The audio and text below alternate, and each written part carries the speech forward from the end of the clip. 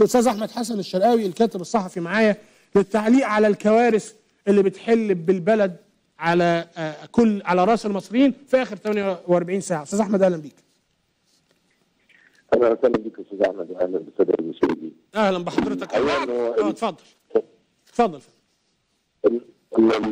يعني آه، آه، الحادثتين اللي خلال 48 ساعة ثلاث قطارات في هيئه السكك الحديديه وثلاث حرايق في آه، باسوت وفي 6 اكتوبر وفي المنطقة منطقه محيط مطار القاهره اللي قنوات آه، زي قناه العربيه مثلا هي ال- هي ال- اللي رددت الخبر انه آه، مطار القاهره توقف عن العمل وبعدين آه، لم تعتذر حتى عن هذا ال- آه، الخبر طلع وزير ال- آه، النقل بصوت الانقلاب وقال انه المطار طبعا وزير النقل ده كان واحد من آه، يونس المصري كان قائد القوات الجو- الجويه وعضو في آه، المجلس الأعلى للقوات المسلحة طلع على قنوات صوت الانقلاب آه، امبارح بالليل علشان يؤكد نفسه إن العمل يتم في مطار القاهرة. الحقيقة يعني لو سألتني عن رأيي في اللي بيحصل ده كله أنا شايف ما هي نفس الحوادث دي كانت بتحصل من ست وسبع سنين يعني الحادث اللي حصل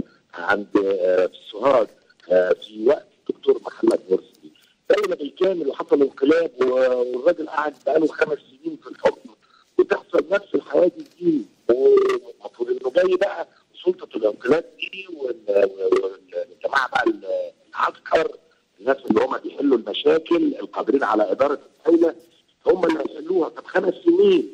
مشكلة زي المشكلة دي ما اتحلتش. العسكر ما حلوش أي مشكلة. ولو قعدنا 50 60 سنة هم حلوا مشكلة الاميه اللي من سنة نجيهم من سنة 52 لغاية النهارده لو دولة أفريقيا تشاد عملت خطة خمسية علشان الناس اللي عندها تنتهي تماما من الاميه القراءه والكتابه كان زمان تشد خلصها دول يمين دول صغيرة جدا ودول يعني حديثه الاستقلال مش دولة زي مصر مش قادرة من سنه نعم. 50 لغاية النهارده تقعد على مشكلة الأمية. ولا أستاذ أحمد يعني أنا لما يطلع الوزير النهارده وعندنا عندنا كوارث متكررة يطلع الوزير النهارده يقول لنا نفس الحادث آه، لثالث مرة في نفس المكان. بس هو الوزير قال كده ما, ما عندوش أي حل تاني. الناس دي بت- بتهرج ولا الناس دي متحملة مسؤولية ولا الناس دي قصدة اللي بيحصل؟ هو مش فارق معاه الكلام. بص هو دلوقتي مصادر الصحافة والإعلام اللي موجودين في مصر آه، الشعب ما بيقدرش يتحرك مفيش حد يقدر يقول له لأ آه، بيتم تجهيل للناس آه، لفترة طويلة وتدريب في الاعلام والوعي والصحافة وكل الكلام ده. مش حد يطلع يتوقف عنه يعني لما حصل ثالث مرة في نفس المنطقة كان يجب عليك إنك تقدم استقالتك. لو في يعني لو حد هيطلع يكلمه يعني لو البلد فيها إعلاميين وصحفيين داخل سلطة الانقلاب رجالة كده وبيقدروا كده يقولوا عندهم رأي وشجعان ويقدروا يتكلموا. ثالث مرة في نفس المكان يبقى أنت لا تصلح لأن تكون في مكانك. استقيل أحسن. والراجل اللي اللي- بقى له خمس سنين وهت- بيقول هخلي مصر قد الدنيا ومش عارف إيه. كل اللي إحنا بنشوفه هذا التدهور والانحدار السريع جدا نحو الهاوية.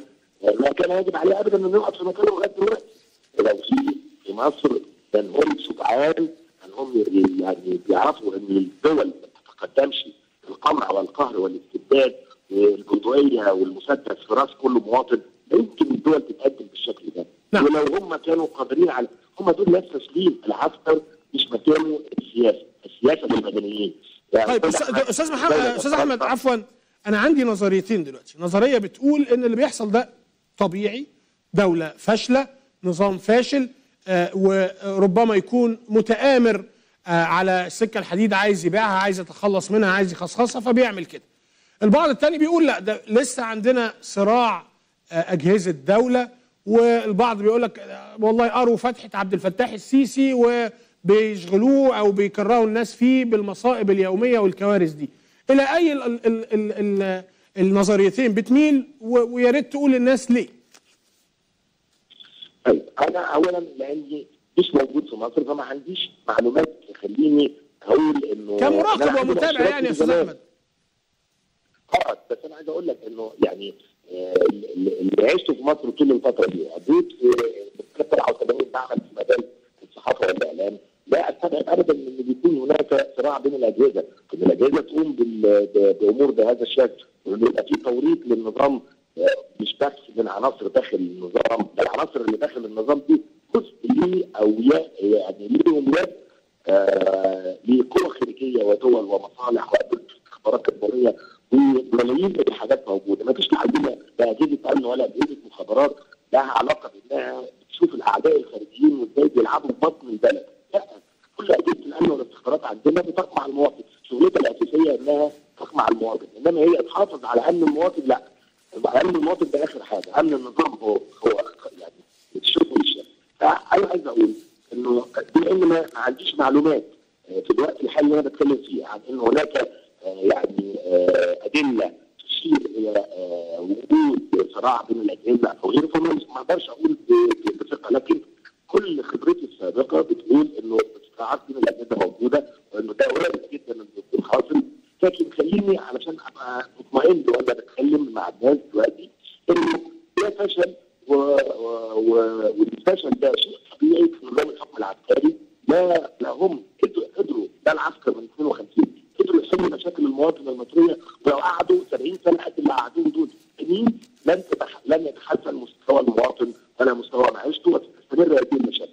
ستستمر حوادث القطارات 50 سنة كمان. وسيستمر الإهمال والحرائق. لأنه نظام قائم كمان على الفساد. لا يحارب الفساد في آه يعني بالقوة الحقيقية. أنت سمعت مثلا أو اي مشاهد سمع إنه في وزير طلع أو حتى عبد الفتاح السيسي أو أي أي مسؤول كبير في هذا البلد وقال سنضرب يد من حديد على الفساد والمفسدين سنقتلع جذور الفساد من هذا البلد علشان المواطن ياخد حقه علشان البلد تتقدم. لا يجرؤ مسؤول فيهم إنه يطلع يقول الكلام. ليه؟ لأنه نظام قائم على الفساد. علشان كده أنا بقول إنه ما قدرش النظام العسكري من 52 يحل مشاكل المواطن المصري. ولو قعد كمان 70 سنة واللي قدام المواطن المصري حاله لن ينصلح وحاله لن يتعدل ولن يتحسن مستوى معيشته اذا الأمر مع حال حال المواطن المصري مع العساكر من سيء إلى اسوء ومفيش أي بارقة أمل. بشكرك جدا الكاتب الصحفي الأستاذ أحمد حسن الشرقاوي. كنت ضيف عليه عزيز علينا عبر الهاتف واعتذر للسادة المشاهدين لو كان الصوت مش واضح ولكن من المصدر.